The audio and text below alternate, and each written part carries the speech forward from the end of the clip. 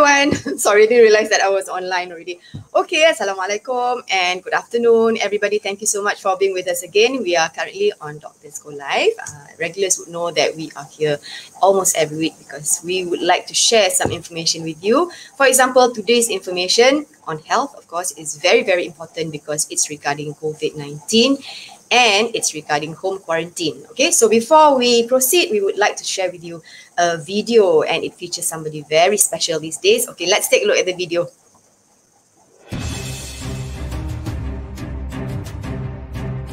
Tahu tak apa-apa tentang home isolation selepas dijangkiti COVID-19? Uh, dari pengalaman saya, saya tak pernah positif lah. Tapi daripada kenalan-kenalan saya yang positif, biasanya apabila kita didapati positif, biasanya pihak KKM akan call kita lah uh, and then dia akan assess kita punya tahap kesihatan. Kalau yang teruk biasanya dia akan bawa kepada hospital yang berdekatan. Kalau yang tak berapa teruk keadaan tu biasanya dia suruh kuarantin kat rumah lah selama 10 hari yang tidak dibenarkan keluar daripada rumah lah. Itu yang saya tahulah. Uh, yang saya tahu uh, macam kalau kita kita dah memang uh, positif diagnose uh, COVID-19 kena asingkan diri daripada orang lain in case kalau satu, satu rumah tu duduk dalam bilik asingkan diri until tertempoh yang diberikan lah Home isolation uh, dia kena duduk rumah jangan keluar mana-mana uh, if can uh, just isolate in the room lah jangan pergi campur makan dengan family semua takut dia pun akan dijangkiti Okay, jangan kalau ada budak kecil dalam rumah tu jangan pergi angkat main-main dengan dia orang. If can just sit in the room with your sanitizer and everything. Uh, family you kena jangan uh, terlalu uh, ada interaction with your family lah. Maybe when you have any symptom like cough, flu, um, fever, then started from there you kena pergi hospital and hi. Are you on home quarantine? Were you told to be on quarantine? Are you puzzled on what to do? Join me, Dr. Mala, at Facebook Columbia Asia Hospital, Cheras on 18 August 2021, 3 p.m. for us to tell you what you should do, what you should not do, what you should look forward when you're on home quarantine or you're caring for someone who's on home quarantine.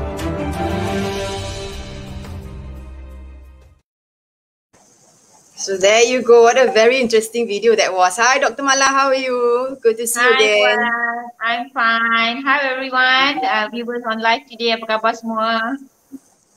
I think everyone is okay. Alhamdulillah. Well, uh, I understand that today punya uh, topic regarding COVID-19 was chosen by you and I'm sure you've got a very good reason for that kan because sekarang ni ialah numbers pun going up and then we've got people who are positive tapi tak terlampau teruk, dia orang tak payah pergi hospital tapi dia orang duduk kat rumah. But just because you are at home doesn't mean you boleh relax semua kan ada a few do's and don'ts lah.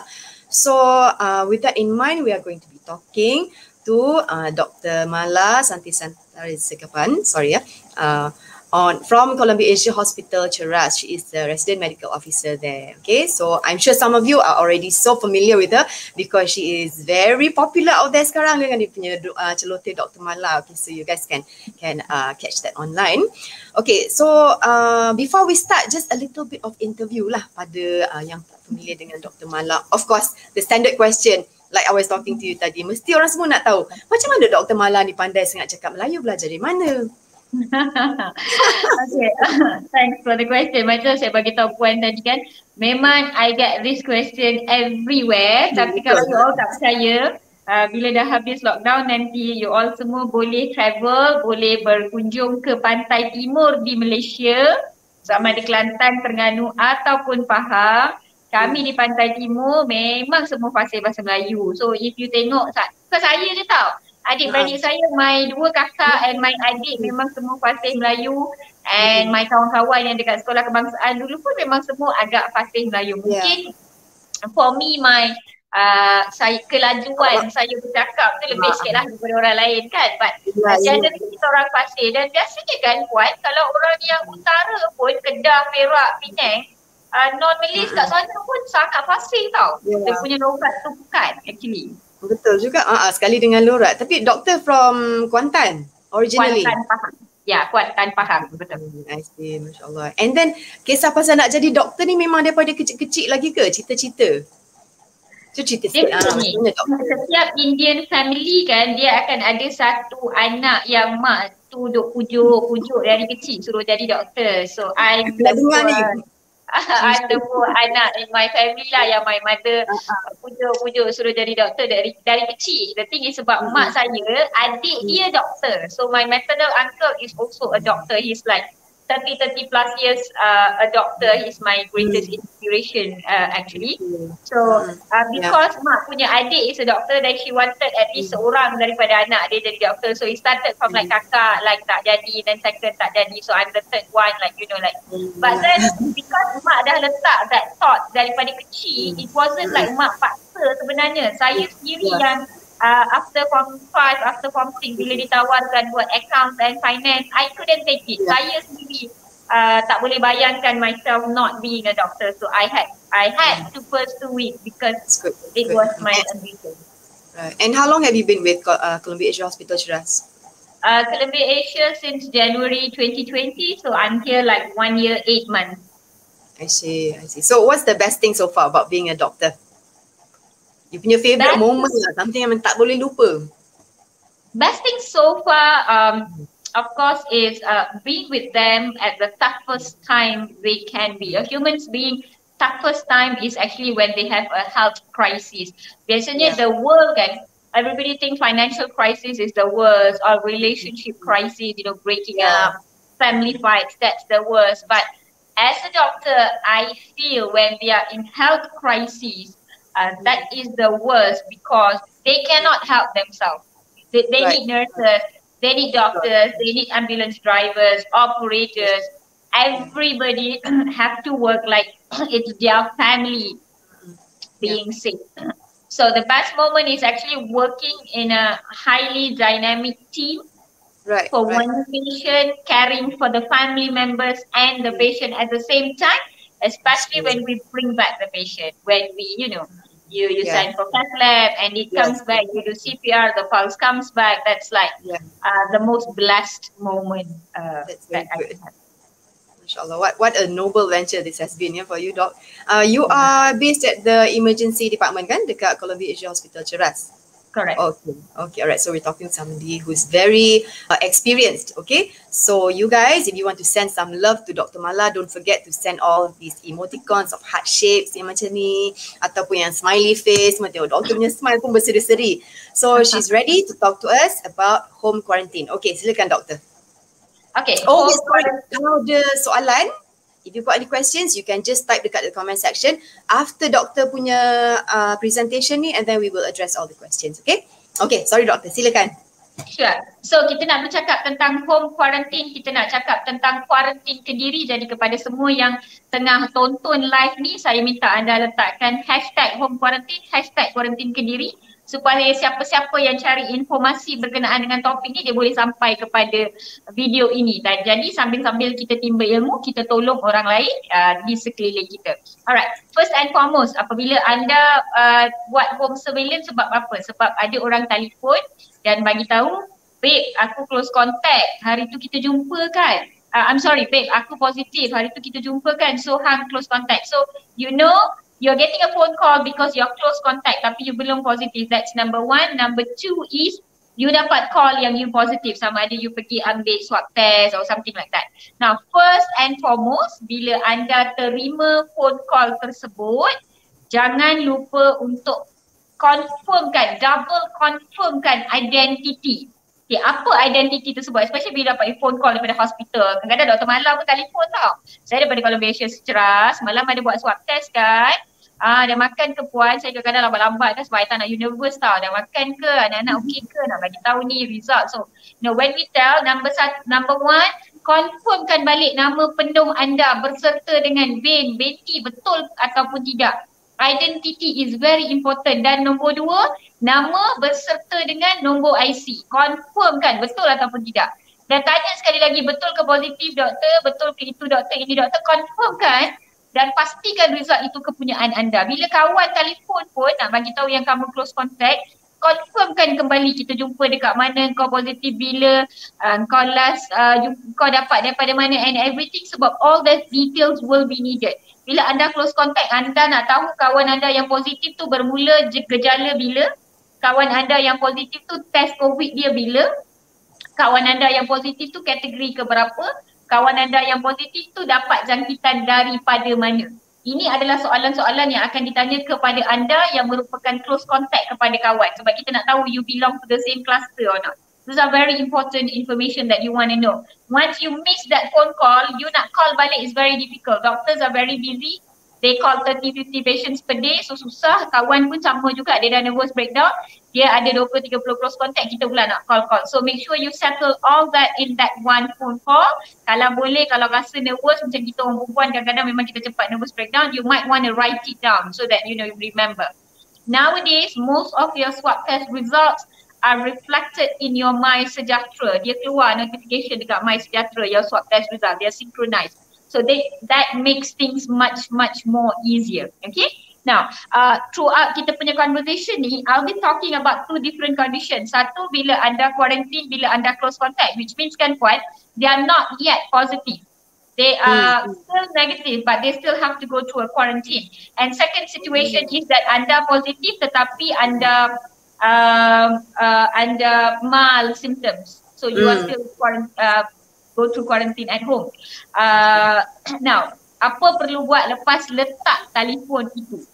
I know everybody akan nak quarantine dekat mana, bilik mana, pergi mana and all that. Nasihat Dr. Mala, tips daripada saya lepas letak telefon daripada panggilan itu, rehat kejap, calm your mind, kalau boleh tengok dengar uh, satu lagu ataupun tengok satu short sitcom clipping take about 5 to 10 minutes for yourself you need time okay sabar that 5 to 10 minutes is not going to make any difference uh, with your covid outcome in the end okay so calm down calm down 5 minit 10 minit uh, for those yang ada religious belief, you might want to say some prayers, you might want to calm down.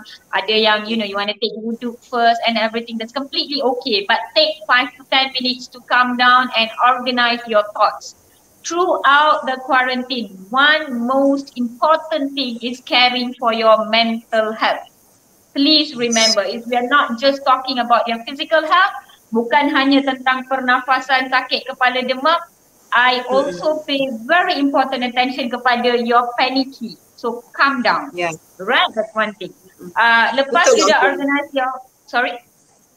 Tak, betul, betul. I'm agreeing with you. Because lalu orang lupa uh, kan masa mental health. Yes, yes. Hmm. We always remind them to panic. Do this, do that, get toiletries, do utilities. We always remind them to panic. Actually, the first thing yeah. you should do is calm down. You're positive, yeah. you're at home and you're receiving calls. That means you are in the better end of the spectrum. You are mm. not in the worst end. So calm down, right. calm down, mm. right? Care for yourself. Now the next thing sebenarnya you want to do is anda nak mencari satu fasiliti untuk anda kuarantin sama ada di rumah, nak pergi pusat kuarantin rendah ataupun nak cari hotel dan sebagainya. Before doing that, there are two things you want to do.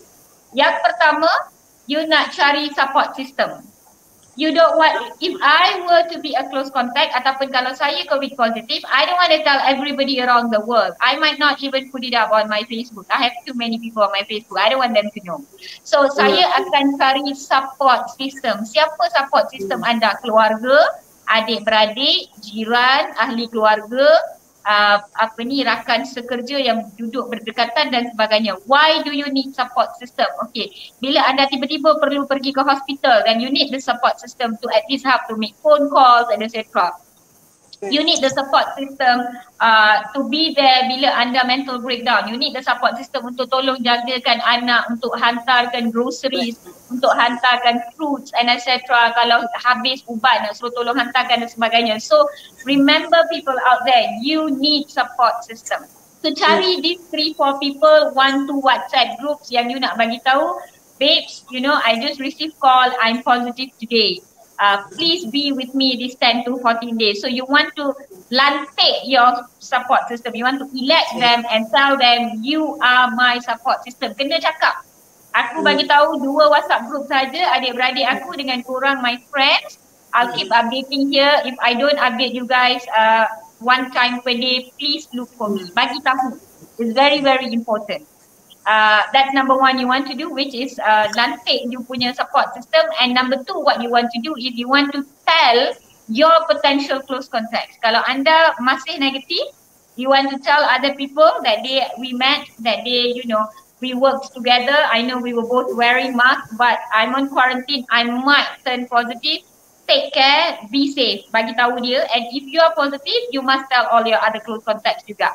Your whoever lah, uh, you know, yang uh, I always say, imagine if you're positive tomorrow, your only close contact must be only orang yang duduk serumah dengan anda.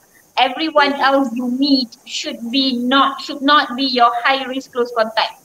They can be a low risk close contact. That means you work together in a room, but dua-dua pakai mask. That's okay.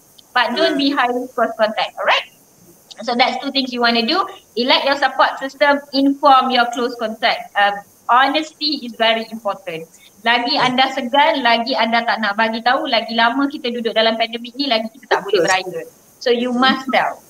Uh, now, lepas settle all that, uh, no more panicky, no more stress, uh, you have done everything, you have got a good support system. The next thing is you want to go into your home quarantine, into that uh, gua ataupun separation for that 10 to 14 days. Yeah. Uh, saya selitkan sedikit, kalau anda tiada gejala, quarantine biasanya 10 hari dari bermula daripada hari swab test positif.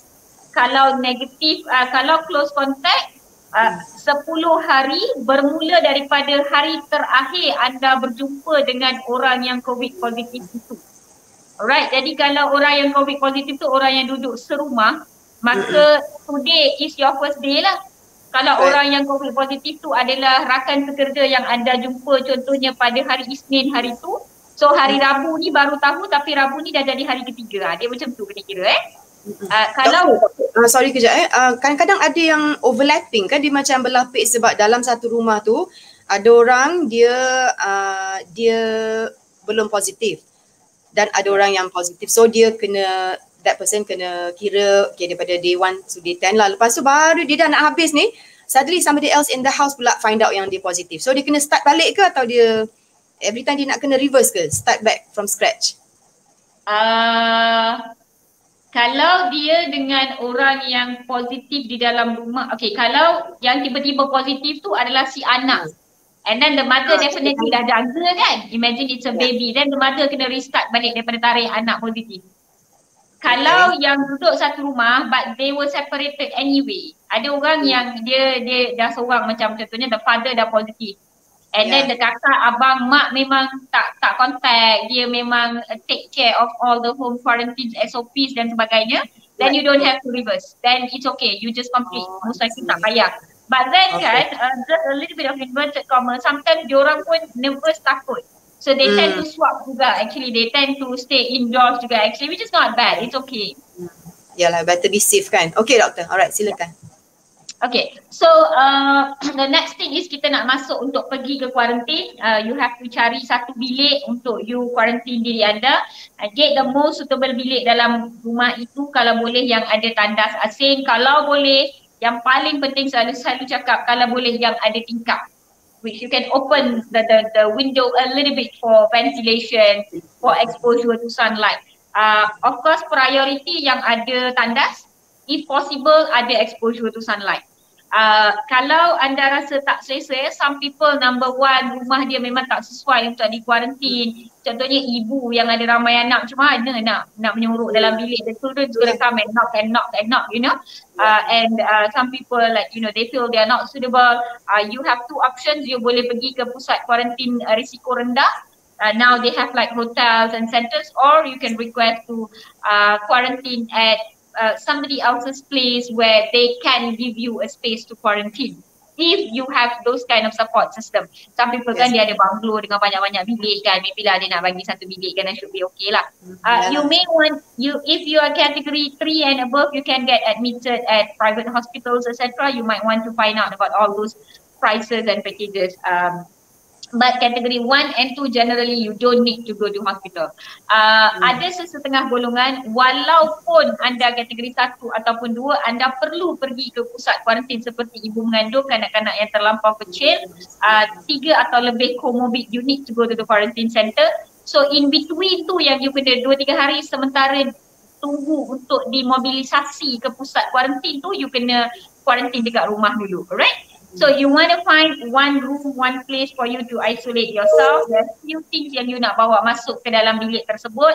Yang pertama barang-barang yang nak guna dalam tandas, all your towel, berus gigi, pencuci Yeah. muka, etc. Number two, uh, awak uh, kita punya pinggan, mangkuk, uh, sudu, gelas, uh, all your uh, makanan things, botol air. Very very important. Ambil lah buah-buahan sedikit, chips, kacang-kacang whatever. Because duduk seorang kan nanti asyik lapar je. And then your phone, your laptops, your charger, bantal busuk, this, that and everything. You want, you might want to get your exercise mat, you punya small dumbbell ataupun kalau ada gym ball, all those sesuai boleh bawa masuk sumbat terus dalam bilik tu because you're going to have 10 to 14 days to live in that room. So, you know, so called you have ample of time. Uh, I strongly suggest, I have been on quarantine few times for being close contact but not uh, not for being positive. That should not yet, uh, at least. I uh, enjoy reading storybook. I think that is one time you can go back to the 80s and 90s that you start reading stories because you're alone, you know, so so no. Uh, you read uh, novels ataupun any books that you rasa you nak baca, that is a very suitable time actually. So you can Yes. also bring storybooks into that uh, that uh, what do you call that that quarantine. Uh, I love reading Ahadia Akasha punya stories. Uh, novels very nice. So kalau viewers kat sini ada siapa-siapa yang uh, novel lovers macam saya, you all can can write in the comment section what are the novels or authors yang you all suka. I'll scroll through later. Now, a uh, few other things which is important untuk bawa masuk ke dalam quarantine room is your sanitizer, uh, the the dropping type and also the spray type.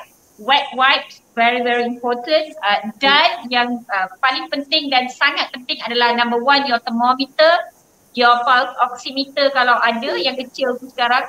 Your BP machine kalau ada especially kepada golongan 40 tahun dan ke atas. Uh, dan juga uh, I always suggest sediakan satu basket ataupun satu dustbin asing. And you keep it there. So all you punya barang-barang you punya uh, excess uh, during your quarantine you masukkan dalam that particular dustbin no hurry in throwing them especially kalau dry items like your daily mask you buang dulu Yeah. and then later on you nak ikat and then sanitize nak buang is easy. So don't forget to keep a dustbin uh, either in front of your room or just you know inside there. A small Oh, one. kita sebelum mask tu sanitize dulu eh? Sebelum No. buang mask sanitize? No no, mask boleh buang je but the plastic tu kan kita akan Oh, I ikat. see. Ah, so it's good to sanitize sebab Yeah, kita tak tahu this uh, pekerja Correct. kebersihan kan, you know when they collect kesian dekat dia orang. So it is safe to spray and sanitize it a bit sebelum kita buang plastik tu. Yeah. Uh, one more important thing for you to get is ubat-ubatan. I know kadang-kadang your symptoms, you have no symptoms or you have mild symptoms. Hmm. Tapi kan, you wouldn't know pukul 12 tengah malam tiba-tiba you demam, pukul 4 pagi tiba-tiba you rasa sesama yang teruk sangat. You wouldn't know, you know. So it is safe to carry some ubat masuk dalam bilik tersebut ataupun pergi ke ke tempat yang you know you want to go another place to quarantine then it's safe to bring that. You might Yeah. want to get some Panadol, some paracetamol, uh, Right. some ubat batuk, some sort of ubat selsema, uh, some sort of ubat muntah dan juga ubat cirit-berit jika perlu uh, and any vitamins if you want. I know the question is going to come all there doctor what supplements, what vitamins. Mak That- so doktor cakap je sekarang. there is no single vitamin proven to improve COVID symptoms or uh, prevent it from progressing to become worse or shorten the duration. But any vitamins yang you dah biasa ambil, you probably can take. My advice is bila anda nak start quarantine tu, don't start a new vitamin because you don't know body you boleh accept ke tak that ubat at Yeah. that particular time Make sense. then you you develop allergy ataupun you know some vitamins pun kan I cannot take vitamin C I rasa macam pedih bulu hati so imagine getting those side effects and complications when you are on quarantine lagi menyusahkan Yeah. so might as well don't take Uh, tapi kalau you dah biasa ambil like some vitamin C or zinc oxide or vitamin D then it's okay you can take it no problem uh, tapi make sure you drink a lot of water as well uh, 2 to 3 liters per day uh, now I personally, now this is no guidelines, huh? this is no guidelines. I personally uh, advise bila anda bermula quarantine, anda mulakan quarantine tu, that is a, uh, I highly advise untuk uh, consult dulu seorang doktor di awal quarantine tersebut. For you to understand anda berada di kategori berapa dan apakah perkara-perkara yang anda nak watch out. Dan jika berlaku let's say sesak nafas or something you know who to refer like you don't know what's going on. You know whom to refer So I understand ada problem dengan um, going out seeing a doctor because you're on quarantine nak bawa kereta pun susah you cannot take a grab and etc. Therefore sebenarnya ada program what we call as home surveillance order teleconsultation. Mm. Okay, this is by uh, Dr. Asia. Betul. This, this is uh, an effort by uh, Columbia Asia Hospital Trust. I oh. think uh, can put it up. Okay? Uh, okay. So yeah. So this is what we call as uh, home surveillance uh, order punya teleconsultation. Maksudnya kan puan, these are the people yang quarantine dekat rumah kategori satu dan kategori dua. Alright. Yeah. They, they dia tu kata dia tu type satu kan the patients are so worried you know dia pun tak tahu you know because covid is so worrying kan uh, and then they they do want a consultation number two sometimes orang yang 40 tahun dan ke atas ada satu sahaja komorbid dan sebagainya it's good for them to get uh, it's good for you to get a consultation daripada seorang doktor dulu. Uh, so here we have yang mana you can choose the kind of package you want just nak one off sekali punya consultation nak dapatkan nasihat doktor one to one. This is through teleconsultation maksudnya kita akan guna uh, a certain medium a certain online platform untuk doktor bercakap dengan anda, assess anda, bertanya, tengok dan sebagainya. And then um, doktor akan tengok dua kali lah, pagi sekali, petang sekali and then doktor dapat satu conclusion about your category, your condition, how severe you are dan sebagainya. Alright, so this is very important sebab bila anda pergi ke tempat yang macam bila nak admit ke, bila pergi COVID assessment center ataupun bila habis quarantine, you at least puas hati sebab you dah consult dah seorang doktor. Alright, and uh, the good thing about uh, actually we put a lot of effort to make this package. The good thing about it is that uh, okay kalau one off cukup and then doktor kata okay for now cukup tak apa uh, kalau apa-apa nanti kita consult balik. And then uh, dah cukup then you, you just stop dengan starter pack tu. Kalau tiba-tiba perlukan sambungan consultation then you boleh tambah okay so, uh, nak nak consult another three more days throughout your quarantine nak nak consult another five more days and etc. So ia memberi satu ketenangan jiwa it gives you sorts of a surety and it gives you a sort of a support system tadi you have a doctor as your support system. Yep. So you know you fever you whatever uh, you you tiba-tiba diarrhea so the medications will be delivered to your house uh, without hassle. And you know, if it's near, then uh, my the hospital has promised that it will be free. So all those can be helped. The good thing is we are trying to create a support system. You are not alone. Just because anda masuk ke quarantine, you are not alone and sailing in the boat. We are here with you. That's what we are trying to tell you. That's um, great. Yeah, and then uh, ubat-ubatan pun bukan semua patient perlukan semua jenis ubat. Dan sometimes you dah ada dah ubat. So the doctor can just tambahkan apa ubat yang anda perlu dan sebagainya. Now yeah. I foresee this uh, effort one, uh, this teleconsultation yeah. sebagai satu uh, usaha ataupun satu uh, package yang a very important one untuk reduce pesakit kategori satu dan kategori dua menjadi lebih teruk progress worsen dengan tiba-tiba. So yes. hopefully with this we can um, curb more problems. If not all, at least some. That's my hope. So kepada siapa yang uh, who wants to use this, you can uh, press. I think there's link down there. Ada scan QR code. You can scan there to understand more. Uh, I don't want to take too much time explaining about this teleconsultation, but if you know anyone who needs this, then giving them the link is a big help because they don't even have to have to be nearby Cheras yes. uh, untuk menggunakan facility ini. They can be anywhere in Malaysia as long as they understand Malay or English. I think uh, my physicians can help and hopefully kita semua sebagai rakyat Malaysia dapat memberi bantuan kepada kawan-kawan kita yang rasa lonely dalam kuarantin mereka. Mm-hmm. Right? yeah.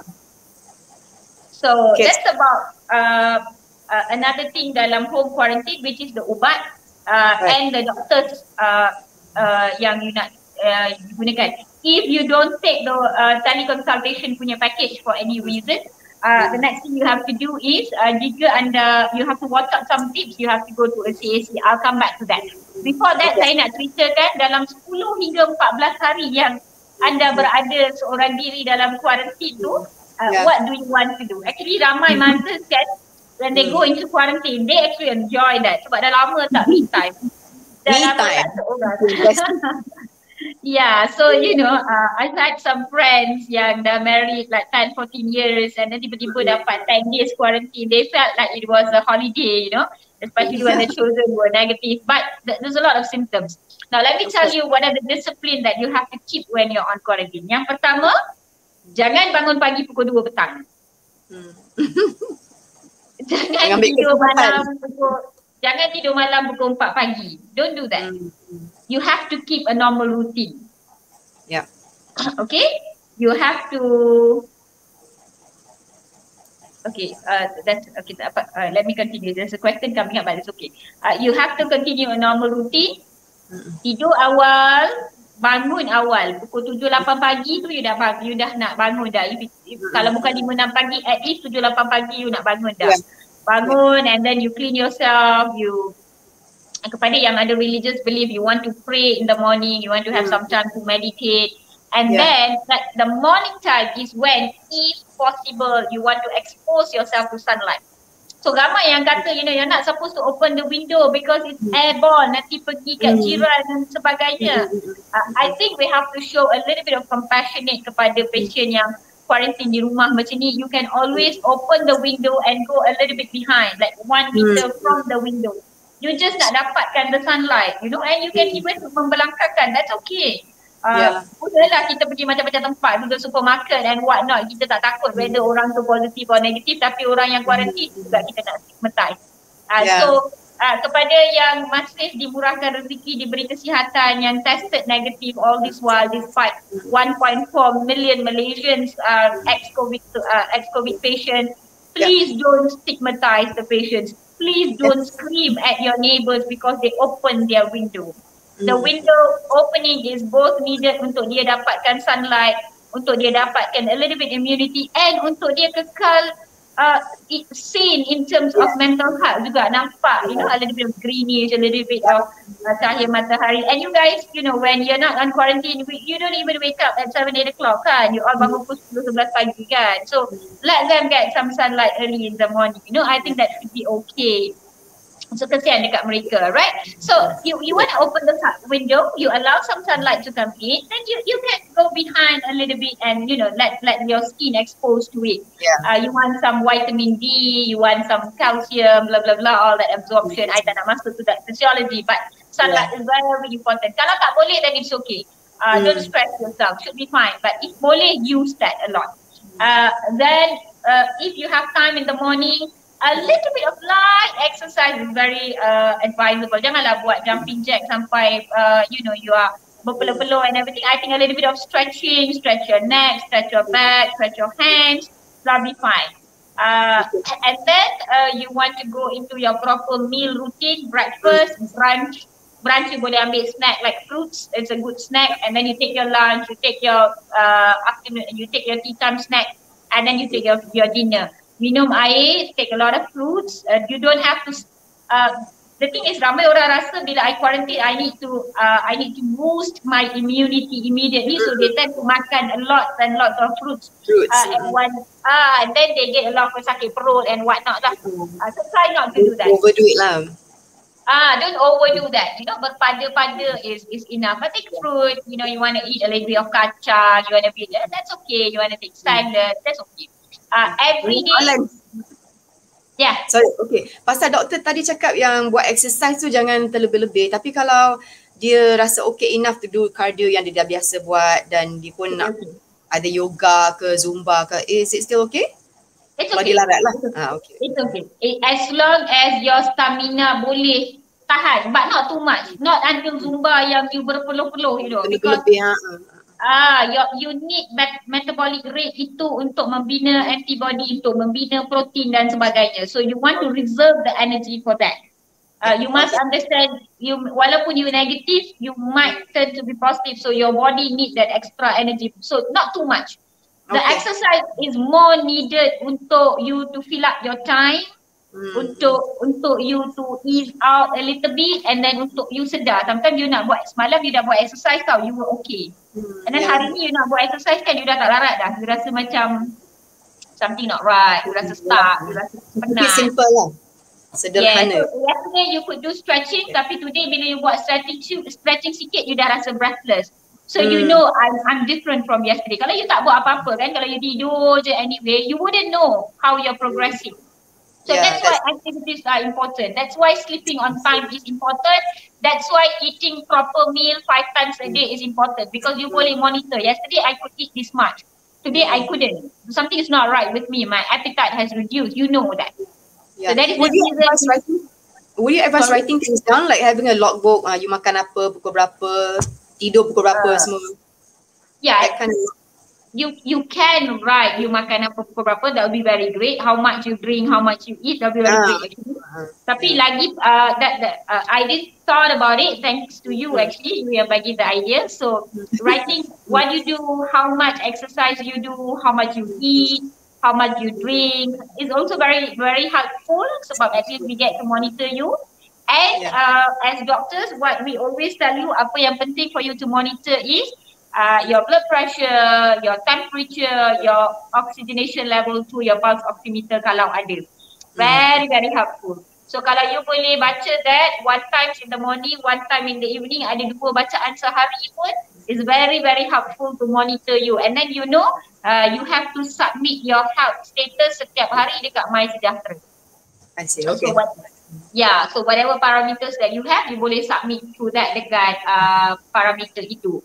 Uh, and then uh, what do you call that? You um, have to, uh, you know, you have to uh, lepas submit tu, if at any point of time you rasa you nak doctor's consultation balik, you nak jumpa doktor balik, then you can always, uh, number one, you can go to a COVID assessment center. Uh, Yeah. Or you can always take this tele consultation yang I cakap tadi tu. You can ask for uh, additional add-ons to the uh, initial consultation untuk dapatkan monitoring how are you progressing and etc. So bila nak nak consult balik dengan doktor, these parameters yang uh, you dah uh, tulis tu ya macam yang puan cakap tadi uh, the what do you call that the makan, minum and then your blood pressure, your temperature and all that will be very helpful um, for the doctor to monitor and advise you actually. Uh, in between here ada persoalan do we need to do a chest x-ray untuk tahu dekat mana you punya kategori. Now, Hmm. it, it's helpful but it's not routine. Bukan semua orang perlu buat. Hmm, Yeah. But bila buat, ia membantu sebenarnya. So again, we go by symptoms. Kalau tak ada sesak nafas, tak ada sakit dada, uh, tak ada uh, uh, uh, drop of stamina very badly, usually we won't do. Uh, again, that is why it's good to take teleconsultation because the doctors can advise you that. If not, uh, kalau anda deteriorate, anda rasa beberapa warning symptoms yang I will list down shortly. If you Yeah. experience any of that, you boleh pergi ke COVID Assessment Center yang berdekatan dengan rumah anda. Hampir setiap daerah ada at least satu COVID Assessment Center. Uh, di Lembah Kelang, saya rasa each daerah ada dua hingga tiga COVID Assessment Center which are open every day, Monday to Sunday. Uh, tetapi dia ada operation hour yang berbeza. So you have to uh, you have to cari dekat you punya daerah tu di mana pukul berapa. Now, apakah warning signs yang anda perlu pantau ketika di dalam kuarantin? Yang pertama sekali dan yang paling glamour sekali adalah shortness of breath, sesak nafas. Sesak nafas ni ramai orang rasa rasa sesak yang very very teruk baru dia rasa that is sesak nafas. No. Uh, sesak yang biasa pun, sesak yang you know you feel not right, you you feel Yeah. something is stuck there. Your breathing is not normal like before. When you talk, that's why I said you need support system. When you Yes. talk, usually you talk to your friend kan or you talk to your kakak. Every day in the morning you, you call your kakak, you talk to your kakak. Mm. And then today when you talk to your kakak, you know that when you talk you're getting tired. Your kakak know that you're completing your sentences shorter than before. Yeah. So itu adalah antara signs yang you are having shortness of breath ataupun sesak nafas. Mm-mm. Uh, another warning sign adalah demam tinggi yang berpanjangan, persistent high grade fever. Uh, what we uh, put is more than 39 degrees, more than 48 hours. Uh, thermometer ber, berbeza-beza. Ada yang guna jenis yang tembak, ada yang guna jenis yang ini. Therefore, the number yang kita guna tu cannot be similar. I cannot tell everybody it must be 39. Then the question comes, what if 38.9, 38.8, etc. Now, as long as you rasa badan you bahang, you feel Hmm. it's hot and you know menggelegak your body, that is high grade fever. Alright, because normal adult, normal human being, kalau temperature kita 37.5, 37.8, sometimes kita tak sedar pun. Especially kalau kita tak sakit badan, you know, you might be going to work with that Yeah. kind of temperature. And you'll be shocked, like, I had temperature, I didn't know, ramai adults yang I jumpa, they are like that, you know, especially Mm. parents, um, people who work, they don't realize.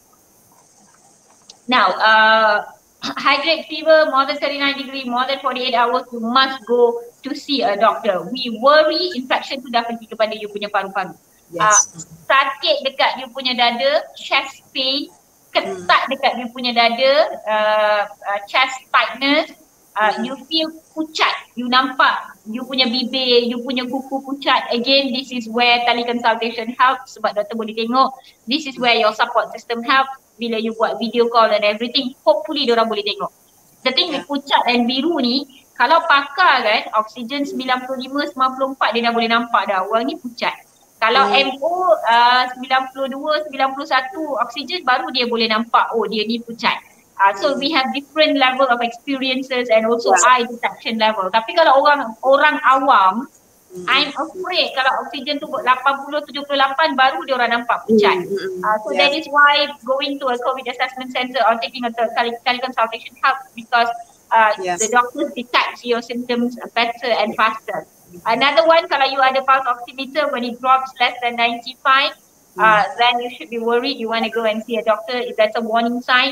That's a lot of school of thought sebab SpO2 machine ni it is not as accurate as SpO2 yang kita oxygen measurement device yang kita guna dekat hospital.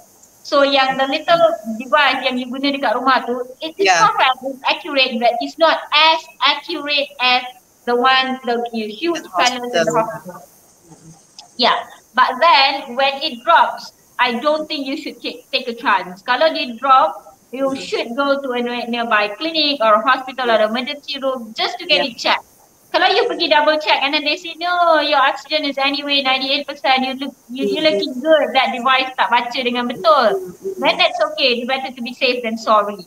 Yalah betul. Uh, I think uh, uh, that's where I will put it. Uh, I won't say the device is completely wrong. It's very helpful. Mm. But uh, kita kena faham yang it does have a little bit of range of dia punya accuracy tu. Right? Uh, a bit more uh, warning signs yang kita selalu terlepas pandang adalah reduce in appetite.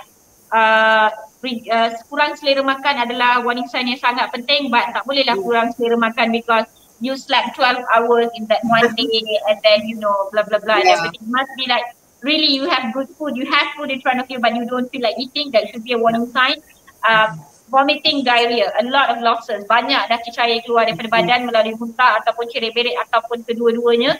Kita risau badan anda dehidrasi dan uh, masuk ke other phases of your infection so that's a warning sign. Please go to the ER room as soon as possible or contact your doctor. And one most important thing is confused. They are Hmm. confused. The person is confused. They are kita panggil altered mental status. Uh, so Hmm. this one sadly you cannot monitor it yourself. Somebody else must monitor it to you, uh, for you. So that is why support system is very very important. So bila saya Right. call and then you know the person looks very blur and then you know Hmm. cakap dah you know bercampur-campur and everything. So your Yeah. support system must know something is not right with you. Now this can happen dramatically. You one person can be completely okay in the morning and then later petang jadi confused. So that's Yeah. where support system is very very important. So these are the warning signs yang you want to look for uh, during your uh, quarantine uh, session. We take some questions, Puan. I think banyak ada soalan. Ada, yeah. I've got, uh, I'm looking at the questions dekat uh, StreamYard ni, kita punya platform. So shall we take the questions here first? I think you've Yeah. got some questions on your screen as well. Uh, I have the Facebook open here Ah, on my okay, laptop. Yeah. Alright, uh, let me just go through this one dulu. Yeah, we've got about Yeah. um, one question here is from Miss Rafida Ramli. Okay, dia tanya, Hai doktor, jika ibu mengandung positif COVID, ikutkan guidelines perlu ke CAC even tak bergejala. Instead of queuing at CAC, is it allowable to proceed to be admitted to private hospital? Ooh, ooh, that's a difficult question. Now, uh, Hmm. if you boleh, if uh, private hospital tu boleh accept ada katil, ada kepakaran ya because ibu mengandung COVID you need two uh, specialist to take care of you. One is the physician and one is the ONG specialist, preferably a fetal maternal specialist. So if such uh, facility is there, can, boleh.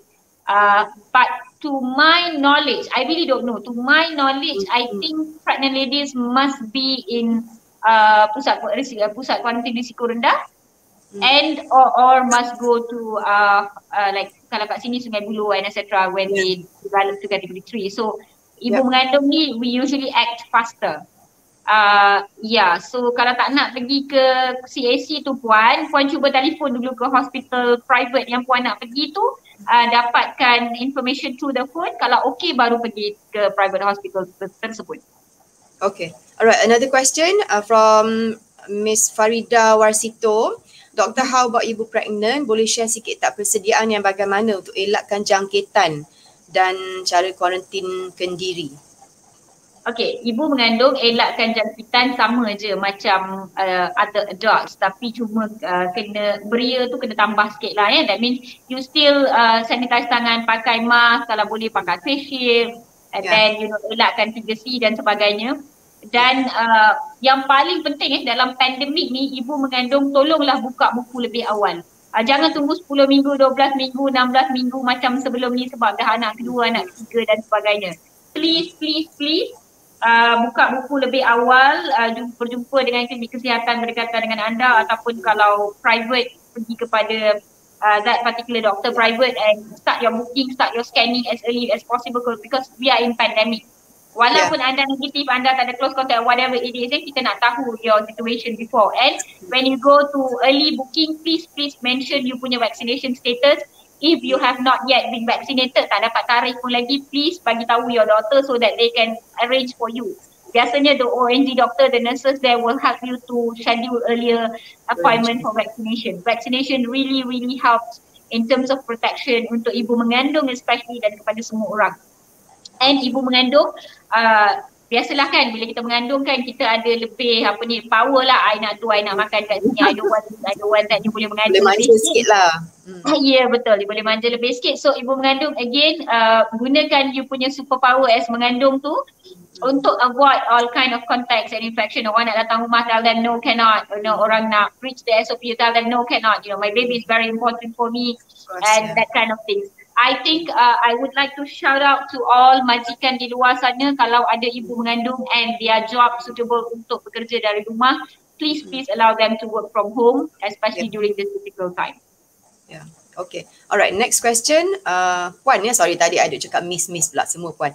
Okay, Puan Najia Zahari tanya what I what do I have to do for post self quarantine? Uh, and then ada sub questions. Do I need to retest PCR again? If yes, why?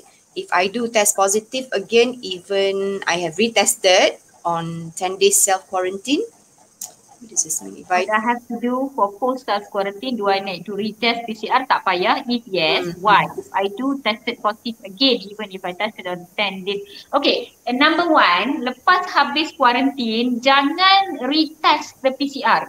Don't repeat your test. Okay, oh. you have completed your quarantine. Mm-hmm. Hanya pada 10 hingga 14 hari yang pertama, mm-hmm. anda mempunyai kebolehan untuk menjangkiti orang lain. After hmm. that, you can still test positive but anda tidak mempunyai keupayaan untuk menjangkiti orang lain.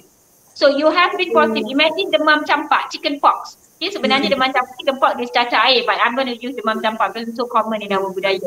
Yeah. So demam campak eh. You, so hmm. Alung dah kena demam campak. So you, hmm. Alung dah ada all that crash. Sebenarnya lima hari sebelum Alung keluar dia punya first rash, hmm. Alung dah expose kepada virus chicken pox.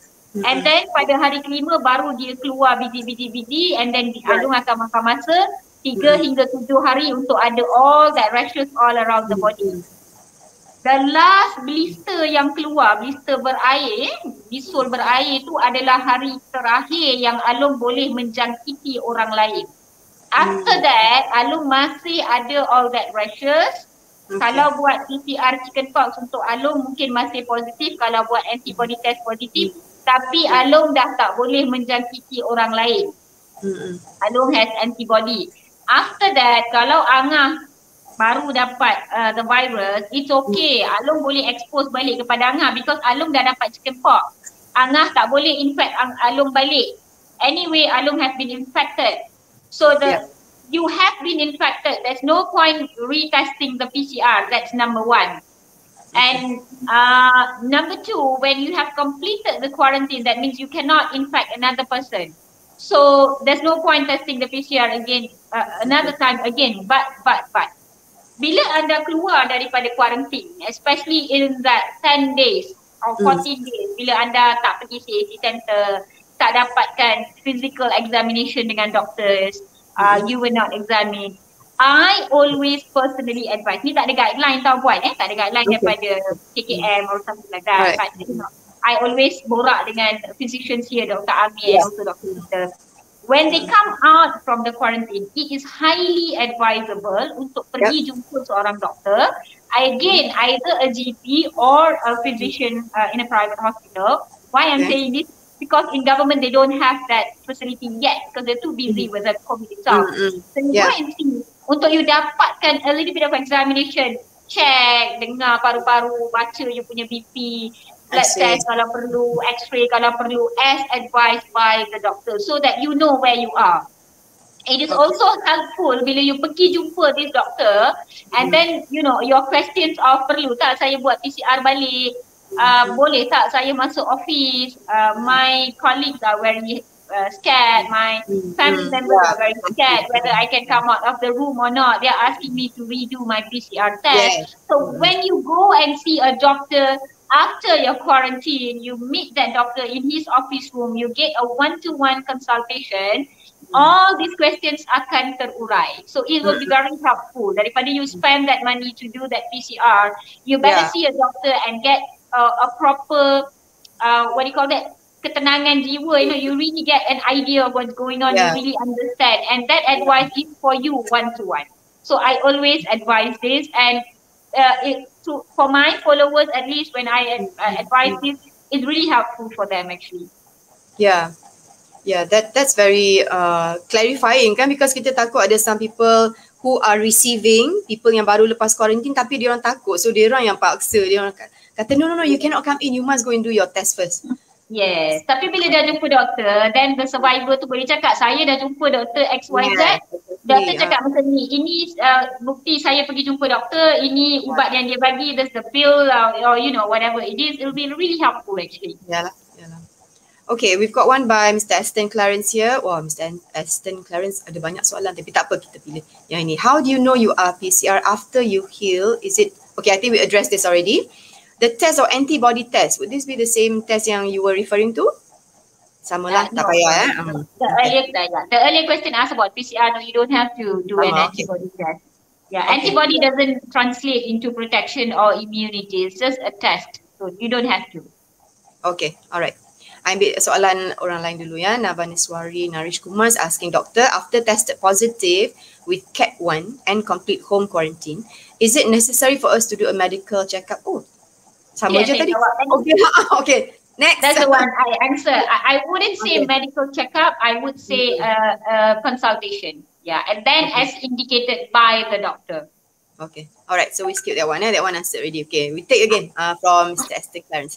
Is it common that after once in a while chest pain or chills post COVID? Ah, who should uh, who should we go to check? Since during Cat 2 and after 15 days, once in a while we eat, digestive system sort of gastric feel, then uncontrolled sleepiness. Okay, doktor pun boleh baca kat situ kan? I think just for you to digest a bit more Yeah. about this question.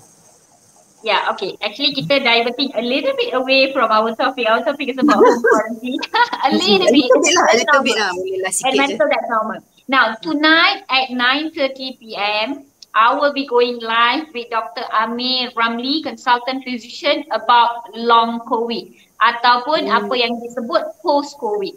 Post-COVID or long COVID is the term given for long-term complications of COVID-19 infection ataupun komplikasi Hmm. jangka panjang jangkitan COVID-19. Even after your quarantine period, people Yeah. do still experience shortness of breath, cough, phlegm, etc., etc., variety of symptoms.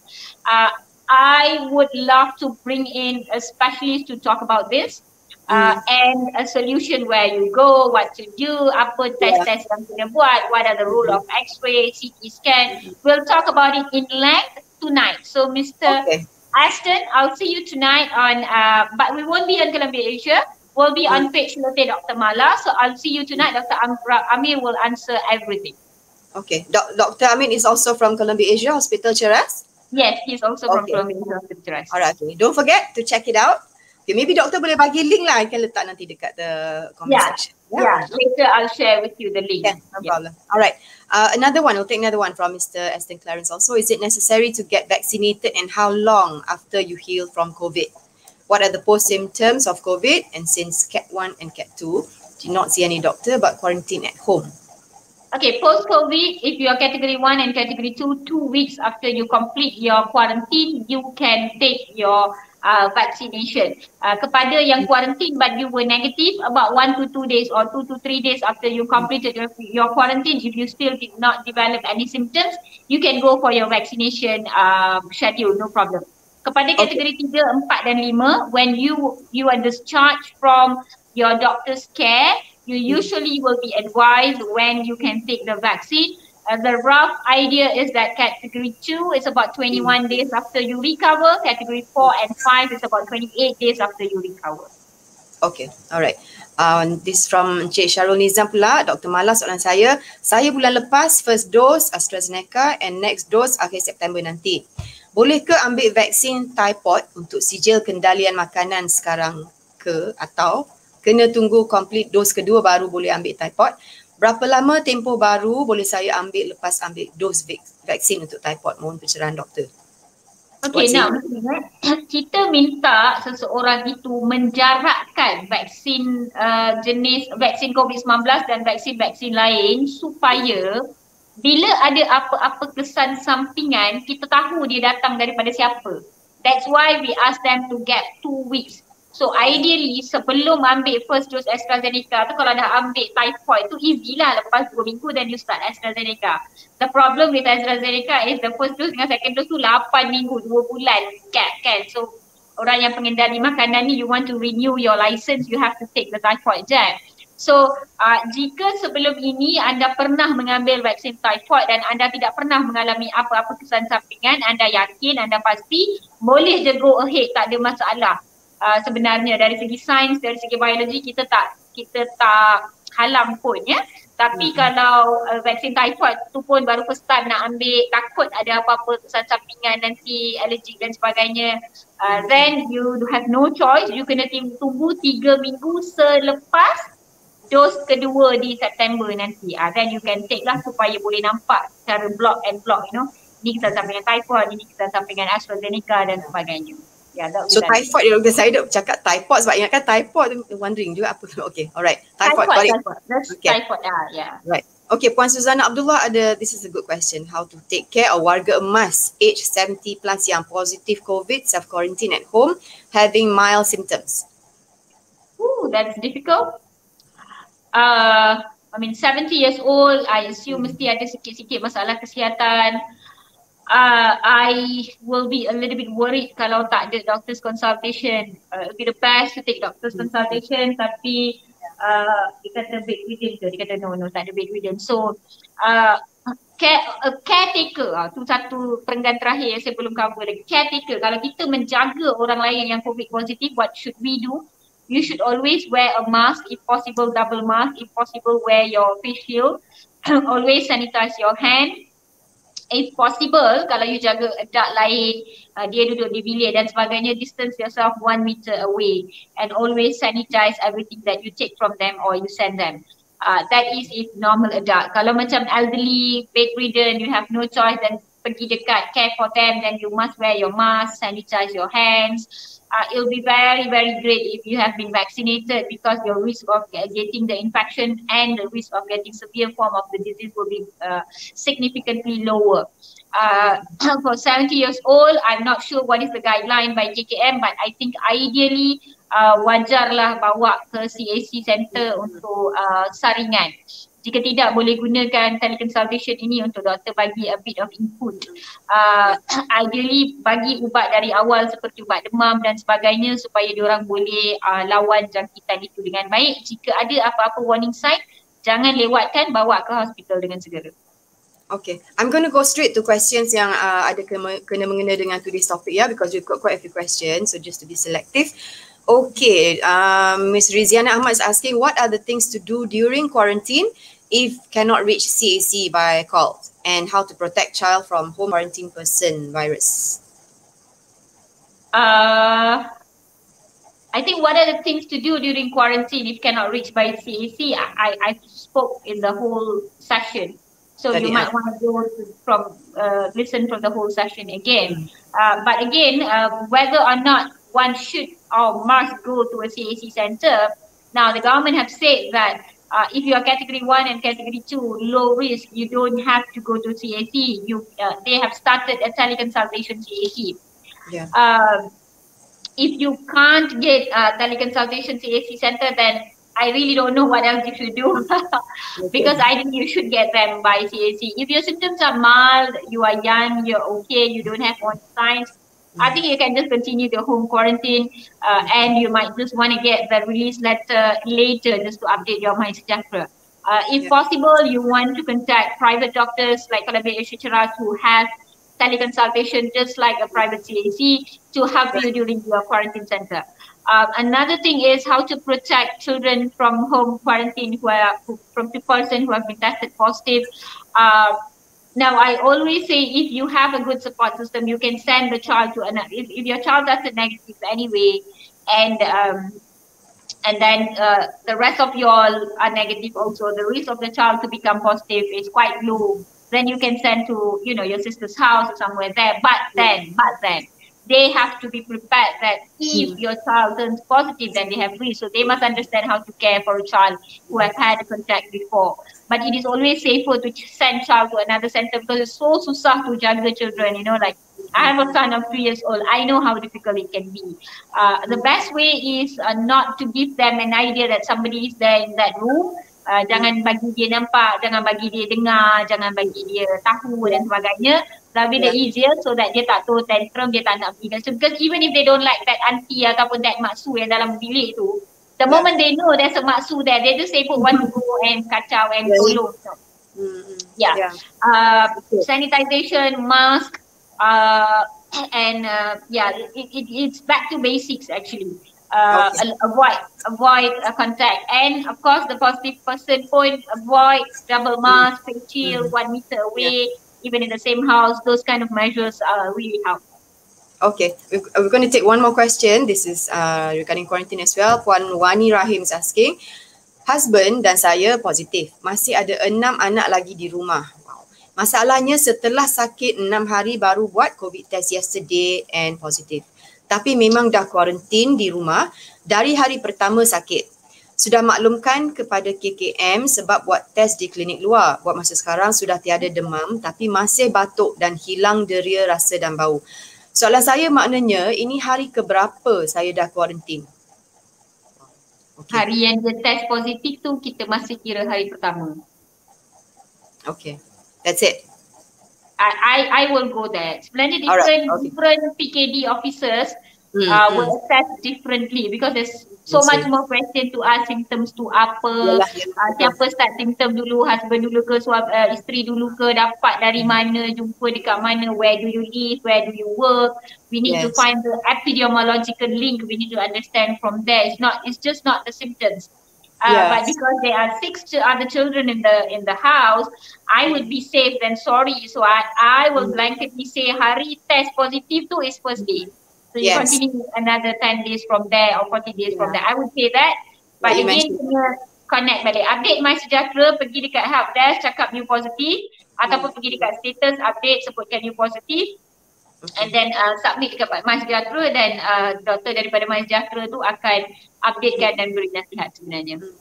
Okey, uh, Puan Nur Raudatul Hasana uh, sebab soalan uh, soalan Puan doktor lepas kita habis kuarantin wajib kena swab. Doktor tadi dah bagi tahu tak lah. So you don't have to do that. I'm on your behalf I tolong jawabkan. Okay.